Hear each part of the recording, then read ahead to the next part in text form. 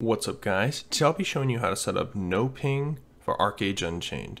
I'm now partnered with them, so you'll find my referral link down below, and you can use checkout code CARTHH for 20% off.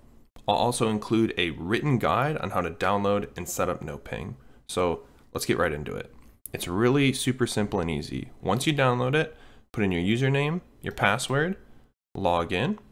Once you've logged in, type in ArcheAge, click on ArcheAge, select the server.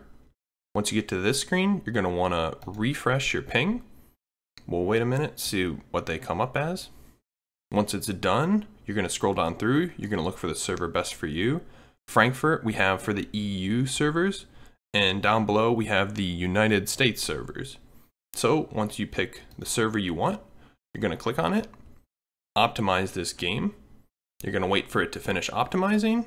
And there you go. It's simple as that. Once you've done this, you can open up your game and you're going to be having way less ping. You can see I'm getting around 22 or so ping to the NA servers and normally I'm at about 50 to 60 ping. So it's really nice. Um, I'm really enjoying NoPing.